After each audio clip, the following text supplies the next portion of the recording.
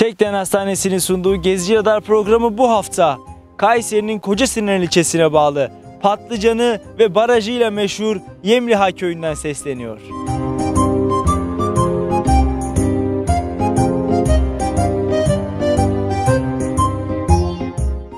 Tekden Hastanesi Gezici Radar programını sunar.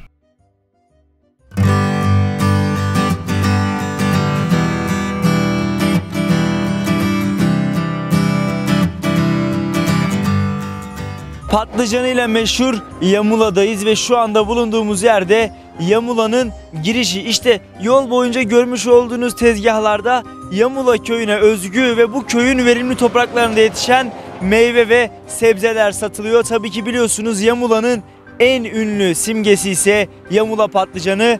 Hemen arkamızda abimiz çalışıyor. Gördüğünüz gibi hafta sonu olması hasebiyle de büyük bir yoğunluk hakim. Bu yol güzergahını kullanan vatandaşlar doğal ve lezzetli ürünlere ulaşmanın en kolay yolu olarak buradaki tezgahları buluyor.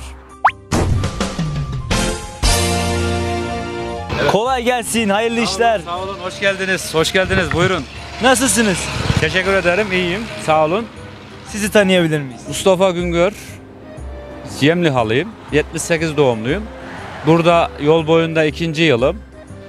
Ee, vatandaşa halka ve hakka hizmet namında Mustafa Bey, hizmete devam ediyoruz. Mustafa Bey maşallah oldukça e, uzun bir yol kenarı pazarı, yol kenarı tezgahı ve yani çok kalabalık var. Vatandaşlar buraya güzel bir ilgi gösteriyor. Ürgüp'ten, Nevşehir'den, Kayseri'den, çevre il ve ilçelerden birçok vatandaş buraya geliyor. Neler satıyorsunuz, neler yapıyorsunuz Neler burada? satıyoruz? Hemen çeşitlerimizden başlayalım Sayın Hocam. Ee, meyve tezgahımız ve reyonumuz. Bahçeden domatesimiz, biberimiz, patlıcanımız en meşhurumuz. Bunlar organik mi? Organik tabii ki. Fasulyemiz taze bugünün. Yani el emeğe göz nuru bunlar. Patlıcanımızın e, böyle kurutması oluyor. Karnıyarığı oluyor. İmam bayıldısı oluyor. gösterelim. Bunun her şekli, her tadı, her yemeği ayrı bir mükemmeldir. Arkadaşlar tavsiye ederim. Özelde üretilmiş ve kurutulmuş el emeğe göz nuru. Bunlar kendi ürünlerimiz tamamen. Buradaki %100 mahsul de sizin tarlanın mı? Aynen kendimizin bu patlıcanlar da aynı şekilde kendimizin. Yani müşteriye elimizden geldiği kadar kendi seçme hakkına da sahip. Biz istersek en güzelinde böyle renkli olanını veriyoruz çekirdeksiz. Yani müşteri memnuniyeti bizim için çok önemlidir. Efendim Yamula'nın meşhur patlıcan tarlasının içindeyiz. İşte görmüş olduğunuz patlıcanlar bu tarlalardan toplanarak Türkiye'nin dört bir yanına bu lezzette atılmaya devam ediyor. Yanımızda da Elmas ablamız var. Patlıcan tarlasının da sahibi aynı zamanda. Nasıl gidiyor. Elmas abla işler? İyi gidiyor. Neler Vallahi- yapıyorsunuz burada? Burada ekim yapıyor, toplama yapıyor. Satışlarını yapıyor. Satışlar ama düşük gidiyor. Düşük mü gidiyor? Peki verim mahsul nasıl? Verim mahsul çok güzel. İyi bakarsan iyi gidiyor. Bak bizim yönetmen de arkada bir şeyler topluyor bak. Domates, Gördün mü? doğal domates, salatalık topluyor, yiyor. Bunlar nasıl? Nerelere veriyorsunuz Yamula patlıcanını? Kayseri'de halimiz var. Hale gider. Halden dağıtılır. Her yere gider. Her yere gider. Peki bundan ne yapılır böyle? Güzel bir karnıyarık. Oh Karnıyarık içinde kıymalı. yapılır. Suyuna ekmek İmam banılır. bayıldı yapılır. Güveç yapılır, turşu yapılır, reçel yapılır. Şehzade kebap yapılır. Allah Daha Allah. sayamadığım çok yemekleri var. Patlıcandan, Dolması var. patlıcandan 101 çeşit yemek yapıldığını söylediler bize. Doğrudur. Yapıyor musun hepsini? Yapıyoruz. Bir de çok ilgimi çekti. Aşağıda da tezgahta gösterdik ama sizde varmış herhalde. Reçel, patlıcan reçeli. Patlıcan reçeli yapıyor. Onu ben nasıl yapıyorsunuz? yapıyoruz. Ufaklarını toplarız. Böyle miniklerini. Bu minikleri alırız, soyarız. Rengi kalmadan, hiç kabuğu kalmadan soyarız. Bir tane hemen şöyle uygulamalı soyalım. Böyle Şöyle böyle. kameraya doğru izleyicilerimiz de görsün. Böyle soyarız. Çerdeğini çıkarmadan. Kirece yatıracaksın. Nereye? Kireç. Kireç ne? İnşaatlarda kullandığımız kireç. Normal kirece yatırıyorsun Normal patlıcanı. kirece yatırırız. Bu sapsarı olur. Sarardıktan sonra çıkarırız. Limonlu suyla Maşallah haşlarız. incecik soydun kabuğunu. Kaç yıldır soyuyorsun? 5-6 yıldır soyuyorum. Reçelci oldum olalı. Yamulanın reçeli benden sorulur. En meşhur reçelci sen misin burada? En meşhur reçelci benim. Tekrar yapmıştık Kürşat Bey'le. İnşallah dağıtımı bu şekilde soyarız. Kirece yatırırız. Kireçten çıkarırız. Haşlarız limonla. Sonra çıkarır onu suyunu süzeriz. Suyu süzüldükten sonra tekrar limonlu suyla şekerini katarız, kaynatırız kendi olanacağı. Olmuşunu da getirdim. Hemen ona da bakalım şöyle. Hemen ona da bakalım. Bir yardımcı yok mu bana? Bir yer ben olayım şunları kenara koyayım şöyle patlıcan. Eve götüreceğim o iki patlıcanı haberin olsun. Tamam, topladım. tamam, tamam. Canın sağ olsun. Açayım mı? Sen şunları tut. Maşallah sıkı kapatmışsın. Evet değerli izleyenler Gezici Radar Patlıcan programında reçeli. meşhur Yamula'nın patlıcan reçelini Elmas ablamızın ellerinden yiyecektik ama kendisi yaptı hazırladı. Sonra dedi ki hep sen sunuyorsun biraz da ben sunayım dedi. Sunuculuğu kendisine Evet. devrettim. Ve Hmm. patlıcanın en tatlı halini şu anda görmüş olduğunuz gibi Yamula'da yiyoruz. Bunun içerine karnını yaracaksın. Cevizi dolduracaksın. Yemek arkası tatlı. Allah Allah. Yamula köyünün meydanındayız ve işte Yamula'nın başlıca geçim kaynağı olan Yamula'nın simgesi olan Yamula patlıcanını da köy meydanına heykel şeklinde koymuş Koca Sinan Belediyesi. 2010 yılında resmi gazetede yayınlanan yazı ile de Yamula patlıcanı coğrafi işaretini almış ve Türkiye'nin dört bir yana dağılan bu lezzet Yamula'nın Kayseri'nin olduğu bir kez daha tescillenmiş. Yanımızda da Mustafa Bey var. Kendisi e, Yamulalı ve bize köy hakkında bilgi verecek. Mustafa Bey teşekkür ediyoruz. Biz teşekkür ederiz, hoş geldiniz. Bizim buranın geçmişi e, 1800 yıllarına dayanıyor. E, bu yamula patlıcanı meşhurdur. Geçim kaynağınız Geçim herhalde. kaynağı da evet e, ağırlıklı olarak geçim kaynağı patlıcandır. Çiftçiliktir ağırlığımız çiftçilik yani. Burada gördüğünüz gibi e, köy meydanına diktik. E, reklam olsun, millet gelsin görsün. Baksın neye benziyor, nasıl alınıyor biliyorlar herkes. E, bu patlıcanın geçmişi e, bayağı geriden geliyor. Bu 2010'da yapıldı ama heykeli daha öncesi 1968'lerde.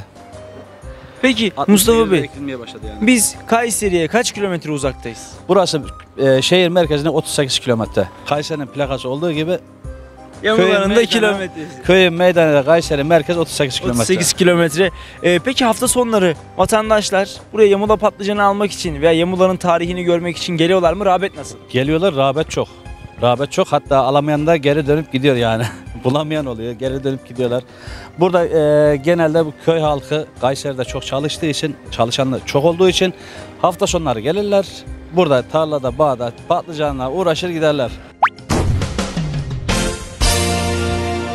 Mustafa Bey arkamızda bütün haşmetiyle, bütün güzelliğiyle Evet. Yamula Barajı. Neler söylemek istersiniz? Biz hayran kaldık kendisine. ama. Yamula Barajı'nı hayranlığı şu kendisine çekiyor insanı. Gelip görmeniz gerekiyor. Yaşamak gerekiyor.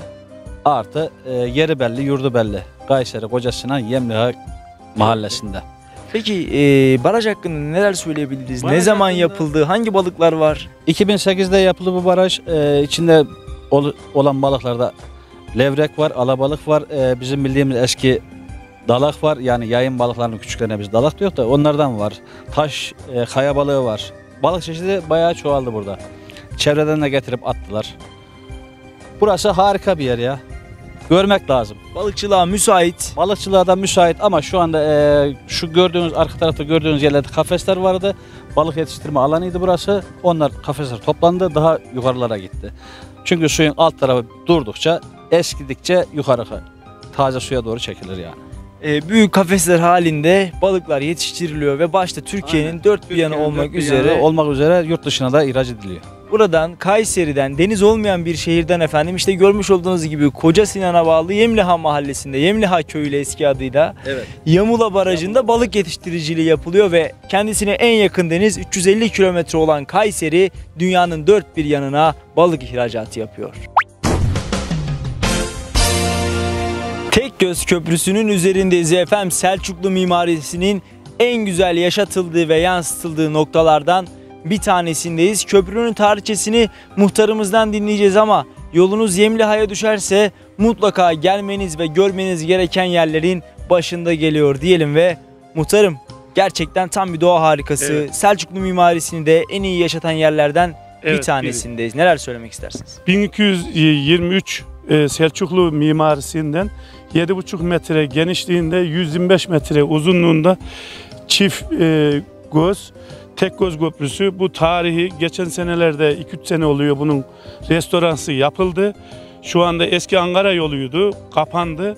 Şu anda da e, şey olarak tarihçi olarak geziliyor görülüyor. Yani yol ulaşım olarak kapalı.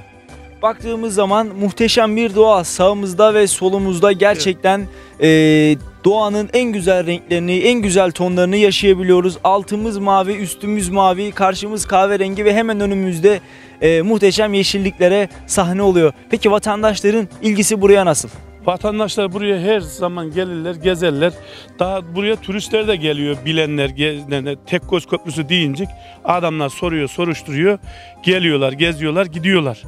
Burada bir e, sıkıntı olarak acık bizim Kayseri'nin e, lağım akıyor, acık o kokuyor, başka bir şey yok sıkıntı. Yani şu köprü, şu yapı, şu kemerler gerçekten Türk mimarisinin herhalde Evet. en güzel örneklerinden En biri. güzel Örneklerinden biri. Yani burada e, bayağı kimse tarihçesini çok eski yani bura evet ulaşıma açığıydı. Şu anda 3 sene oluyor restore yapıldılar. Ulaşıma kapandı. Evvel ulaşım yapılıyordu bunun üstünden de. O zaman biz de bu tarihin üzerinde şöyle kendimizi bırakıp aşağıya doğru yürüyelim mi sizle birlikte muhtar Bey? Olabilir. Buyurun. Olabilir. Buyurun. Tekden Hastanesi'nin sunduğu Gezici Radar programı bu hafta Kayseri'nin Kocasinan ilçesine bağlı Yemliha köyünden seslendi sizlere.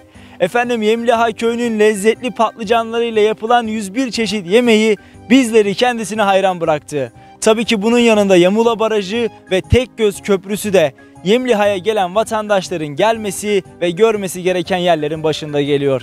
Biz de programımızı Tekgöz Köprüsü'nün bu tarihi atmosferinde bitirelim dedik. Efendim önümüzdeki hafta yeniden gezilecek ve görülecek bir yerde karşınızda oluncaya dek hoşça kalın, sağlıklı kalın, esen kalın. Tekden Hastanesi Gezici Radar programını sundu.